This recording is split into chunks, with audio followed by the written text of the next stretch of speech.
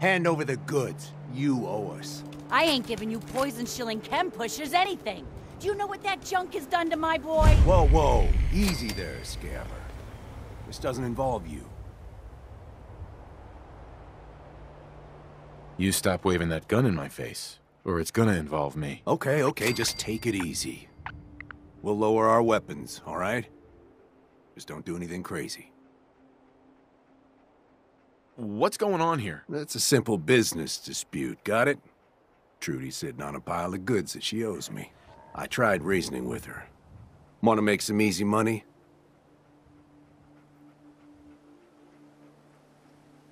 Who's Trudy? See that diner right in front of us?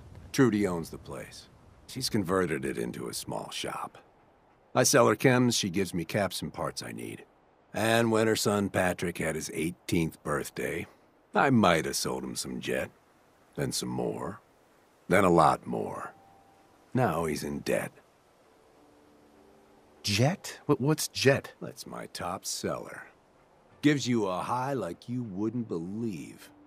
My customers swear it makes them faster, always take a huff before a fight.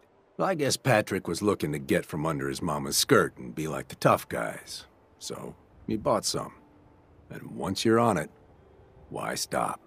Now, I've sold that boy a lot of my jet, and I expect someone to make good on his promises that I get paid. Scumbag. You made him an addict. Yeah, yeah, I've heard it before. Look, he wanted a product, I sold him a product. And I expect to get paid for my product. Now you gonna help us out, or what?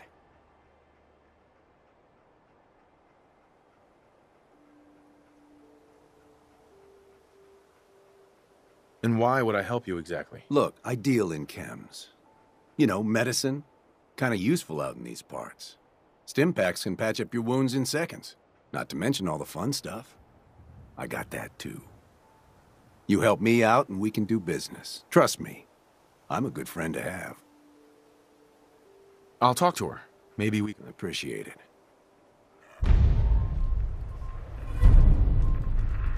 Hey there. I saw you in that poison seller talking. Well, he ain't getting his money. Period.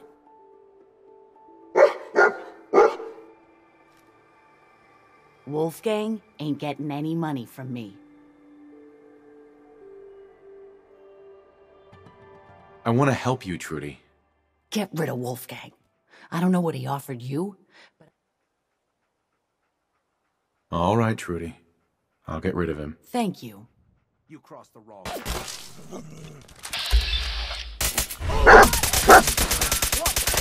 You or me?